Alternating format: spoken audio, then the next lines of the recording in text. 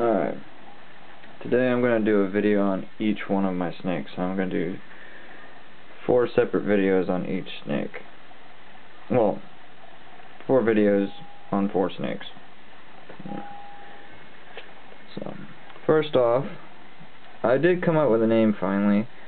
Um, for I st still have yet to get bring him to the store to get him sexed or her sexed.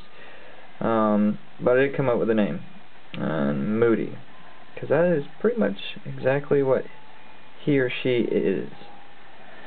Because I made the mistake in my first video saying that oh you know he or she's never bit me or struck at me and literally right after the video started striking at me and all kinds of things. But my mom seems to think that the reason why that happened is because as you can see that little indent on above his head is a big scab, which I said in the other videos. Um, yeah, um, I was putting the medicine on it, and it wasn't literally, it was like right after I put the medicine on it, he started getting pissed off, and, or she, whatever, uh, started getting pissed off and started striking at me, but, literally, this is like the closest I can get to him or her right now, because if I stick my hand in the cage, start striking at me. But, on another note, I still love the snake. I mean, it's a uh, Demeril, I think it's called, or Domeril or something like that. But I just love the colors, man. Granted, yeah, it's a boa, but it doesn't have the red tail. Either way, I still love it. I mean, just the colors and the patterns. Awesome.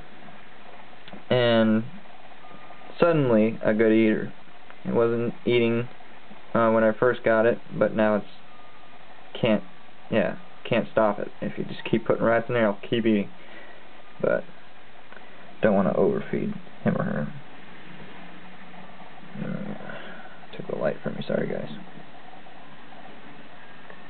Don't want to get too close. Yeah. But hopefully one day I can get him, get him or her tame back out because I'd I'd like to handle this snake. Alright. That sums up for my first video. see you guys.